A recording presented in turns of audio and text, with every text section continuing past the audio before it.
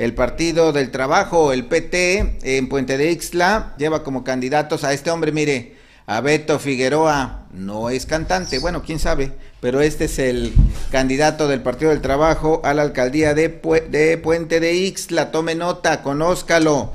Alberto Figueroa Valladares se llama, la síndica es María Guadalupe Guzmán Procopio y sus primeros, sus regidores más bien son eh, Jordán Jiménez, Delia Azucena Salgado, Jair Antúnez, Ana Miriam García y Pedro Figueroa Contreras. Son los candidatos del Partido del Trabajo a la alcaldía de Puente de Ixtla. Aquí se lo presentamos para que lo conozca. Hay muchos candidatos, poco a poco le vamos desmenuzando los que aspiran.